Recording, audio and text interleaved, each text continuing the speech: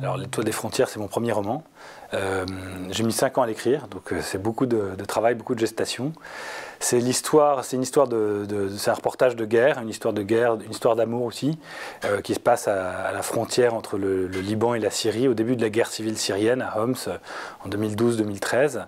Euh, cette frontière, donc, enfin, c'est un livre d'aventure sur la traversée de cette frontière, avec tous les risques que ça comprend, traverser les champs de mines, déjouer les pièges de, de, la milice Hezbollah, de l'armée syrienne, des bandits, etc. Et c'est aussi l'histoire du passage entre le monde entre guillemets des vivants, le monde normal euh, du Liban, euh, enfin du monde dans lequel on vit, et le monde de la guerre, qui est le monde des presque morts, quoi, qui est un monde dans lequel euh, l'argent n'a presque plus cours, qui est un monde peuplé de héros ou de, ou de, salauds, mais qui est plus un monde euh, ordinaire. Et comment est-ce qu'on bascule de l'un à l'autre? Comment est-ce qu'on traverse cette membrane invisible, euh, presque comme euh, euh, dans un Harry Potter entre le monde des normaux et le monde des, sorciers. Donc le, personnage est principal, c'est un jeune photographe un, peu paumé d'une famille, euh, enfin qui est adopté, qui est à la recherche de ses origines, et, qu'un concours de circonstances met sur la voie de, la Syrie, euh, où sont probablement ses origines. Et son chemin croise un reporter plus chevronné qui s'appelle Axel, qui est plus âgé, un peu plus cynique, plus aguerri, et euh, naît entre eux deux une amitié improbable, qui est une amitié au début de circonstances, et puis qui devient une réelle amitié. Et dans cet univers un peu trouble, un peu interlope, qui est le, milieu des gens qui gravitent autour de la guerre, il rencontre une ONG, ce qu'on appelle une ONG pirate, c'est-à-dire une ONG semi-clandestine, probablement soutenue par des services secrets. Euh, et qui les aide à traverser la frontière avec des passeurs, des bandits, euh, etc., des trafiquants de drogue. Et, euh, et, dans le processus, en fait, il rencontre un troisième, un troisième larron, un jeune converti qui s'appelle Farid, euh, dont on va se rendre compte qu'il est djihadiste, au début on ne le sait pas, et, euh, sa, compagne, euh, qui est une fille extrêmement belle, qui s'appelle Nejma. Nejma, c'est-à-dire l'étoile en arabe, c'est comme un soleil lointain.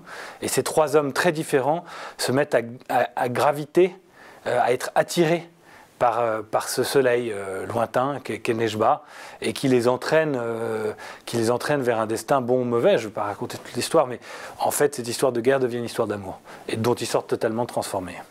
Alors moi j'ai beaucoup couvert la guerre, surtout au Moyen-Orient.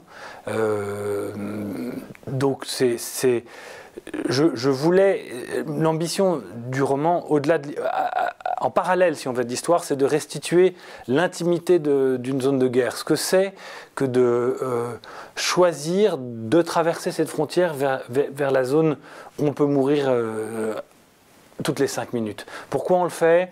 Qu'est-ce qu'on perd en, notamment en sécurité et tout ça en traversant? Qu'est-ce qu'on gagne aussi paradoxalement en liberté, en, en intensité de vie, même si c'est piégeux, même si c'est dangereux, il y a une part attirante comme le feu. Euh, ces, mécanismes un peu intimes, l'intimité du, courage, de l'abandon, de, sentiments très, massifs mais très simples aussi, euh, parce que la guerre simplifie les choses paradoxalement.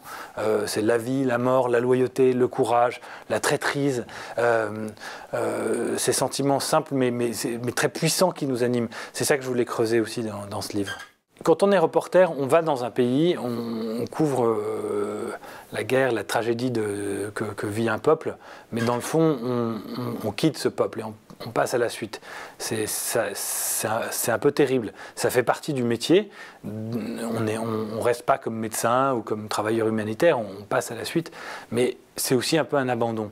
Et, ce livre aussi était pour moi peut-être une, euh, manière de... de d'essayer de rendre leur part d'humanité aux, aux, Syriens qui souffrent dans cette guerre. C'est-à-dire que c'est pas juste des chiffres, c'est pas juste un problème géopolitique, c'est pas juste des gens qui montent sur des bateaux pour se noyer en Méditerranée pour essayer de venir en France ou en Angleterre ou en Allemagne. Euh, c'est des êtres humains dont la, la guerre, dont la guerre attaque la dignité humaine. Il n'y a pas que la souffrance euh, presque animale, c'est pas que la pyramide de Maslow, manger, boire, dormir, euh, protéger ses enfants. Il y a aussi une part euh, de, dignité humaine qu'on qu appelle l'humanisme et qui est attaquée, qui est niée dans la guerre, notamment dans les bombardements chimiques dont parle beaucoup ce livre. Et, ce livre essaie de creuser en fait un, peu l'abomination du bombardement chimique en, tant que crime contre l'humanité, c'est-à-dire en tant que crime qui nie aux autres êtres humains leur dignité d'homme. Voilà. Et, l'intimité de cette injustice-là est quelque chose que j'essaie de creuser.